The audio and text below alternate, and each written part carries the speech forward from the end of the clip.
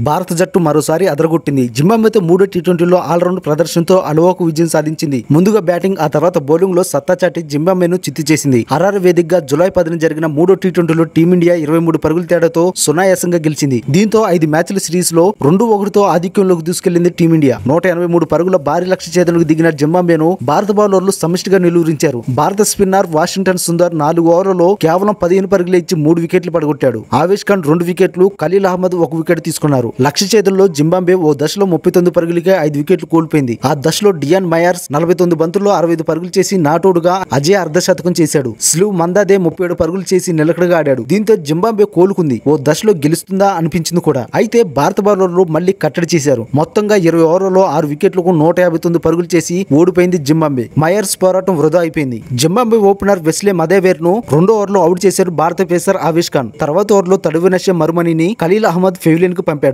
Brian బెన్నెట్ను నాలుగో ఓవర్లు వెనక పంపాడు ఆవిష్ ఖాన్. కెప్టెన్ సికిందర్ రాజా జొనాథన్ క్యాంప్బెల్ను వెంట వెంటనే అవుట్ చేశారు సుందర్. దీంతో ఏడు ఓవర్లలో ముప్పై తొమ్మిది పరుగులకే ఐదు వికెట్లు కోల్పోయి పీక లోతు కష్టాల్లో జింబాబే కూరుకుంది. జింబాబే లోయర్ ఆర్డర్ బ్యాటర్లో మయర్స్ మదాందే విరోచితంగా పోరాడారు. ముఖ్యంగా మయర్స్ చివరి వరకు నిలిచి అజయ్ అర్ధశతకం చేశాడు. ఆ ఇద్దరు ఆరు వికెట్కు డెబ్బై ఏడు పరుగుల భాగస్వామ్యం జోడించి పోరాడారు. అయితే పదిహేడు ఓవర్లో మదాందేను అవుట్ చేసి బ్రేక్ ఇచ్చాడు Team India spinner Sundar. Mayers చివరి వరకు పోరాడినా ఫలితం లేకపోయింది. అంతకుముందు టీమిండియా కెప్టెన్ శుభ్మన్ గిల్ నలభై తొమ్మిది బంతుల్లో అరవై ఆరు పరుగులతో అర్ధశతకం చేశాడు. ఏడు ఫోర్లు మూడు సిక్స్లతో అదరగొట్టాడు. మిడిల్ ఆర్డర్లో వచ్చిన రుతురాజ్ గైక్వాడ్ ఇరవై ఎనిమిది బంతుల్లో నలభై తొమ్మిది పరుగులు చేశాడు. నాలుగు ఫోర్లు మూడు సిక్స్లతో మెరుపు ఇన్నింగ్స్ ఆడాడు. దీంతో తొలుత బ్యాటింగ్ చేసిన భారత్ నాలుగు వికెట్లకు నూట ఎనభై రెండు పరుగులు చేసింది. యంగ్ ఓపెనర్ యశస్వి జైస్వాల్ ముప్పై ఆరు పరుగులతో రాణించాడు. టీ ట్వంటీ ప్రపంచ కప్ జట్టులో సంజు శాంసన్ యశస్వి జైస్వాల్ శివన్ దూబే ఈ మ్యాచ్ తుది జట్టులోకి వచ్చారు. అయితే శాంసన్ పన్నెండు పరుగులతో చివరిలో రాగా దూబే బ్యాటింగ్ దిగలేదు. ఈ ఐదు మ్యాచ్ల సిరీస్లో భారత్ జింబాబే మధ్య నాలుగు టీ ట్వంటీ మ్యాచ్ జులై పదమూడవ తేదీన జరగనుంది. ప్రస్తుతం భారత్ రెండు ఒకటితో ఆధిక్యంలోకి దూసుకెళ్ళింది